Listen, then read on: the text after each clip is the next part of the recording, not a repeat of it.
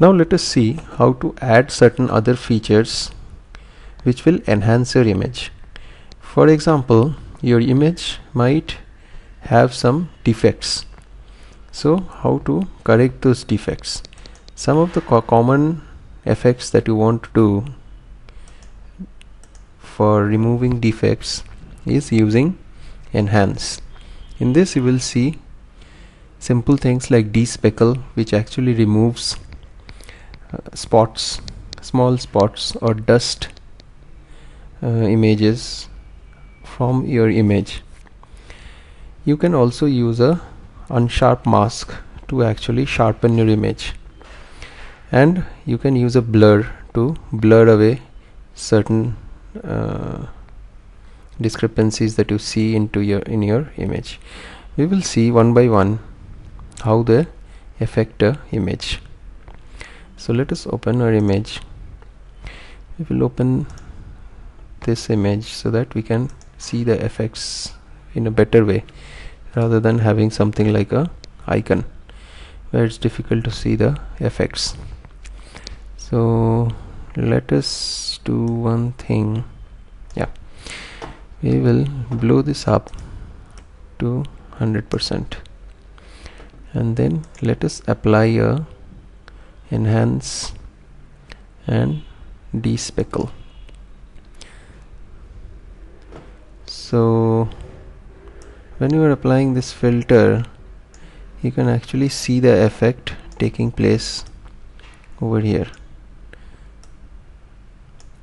So if you see when I move the original image is visible and when I stop the effect takes place. So you see that the image has become little bit blurred and spots have gone. So we can actually increase it to see the effect better. And or we can reduce it to see what happens when you increase the radius or the black level. If you increase the black level it will have different kind of an effect.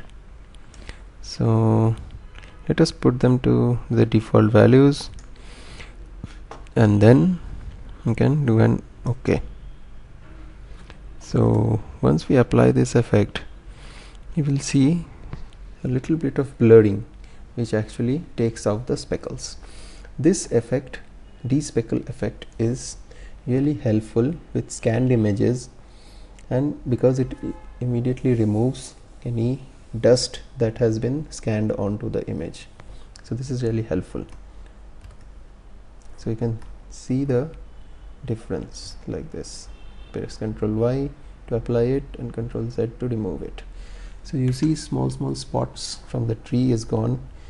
If you apply the despeckle thing. So now let us see how we can apply another enhancement called unsharp mask. This is actually to sharpen your image. So this actually makes your image much more sharpen sharp so that you can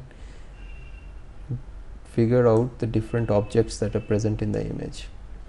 One disadvantage of this is that it also increases the noise that is there in the image.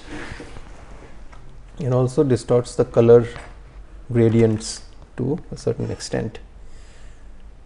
So let us apply it and see what is the effect. So once you apply it you see everything has become more sharp.